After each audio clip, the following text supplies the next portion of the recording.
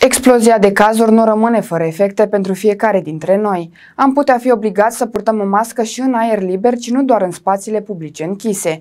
Măsura a fost discutată la începutul săptămânii de Comitetul pentru Situații de Urgență. România trece prin momente crunte, se impun în acest moment măsuri mai drastice și mai dure decât în perioada stării de urgență. Masca de protecție ar putea deveni obligatorie și în spațiile deschise în anumite intervale orare în care există aglomerație. Premierul a precizat că masca va fi obligatorie în zone precum târguri, faleze sau piețe. În aceste locuri, interacțiunea este foarte apropiată și singura soluție pentru reducerea riscului este purtarea măștii. Cetățenii însă au păreri împărțite. Ce părere aveți despre faptul că măștile ar putea deveni obligatorii și în aer liber? Bună, am părere destul de logică, așa, de, de necesară, e strict necesară. Da, pentru siguranța, sigur că da. Considerați că oamenii ar trebui să respecte măsurile? Am de spus, ă, s-a aglomerat spațiile pe la spital, nu mai e loc.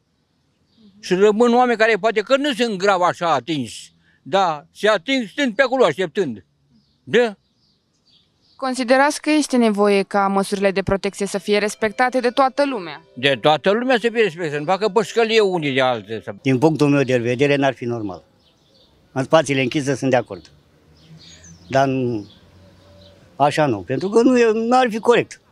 Consider pentru sunt mulți oameni bolnavi și ba cu inima, ba cu tensiunea, ba cu și transpir și e foarte incomodă să o porți.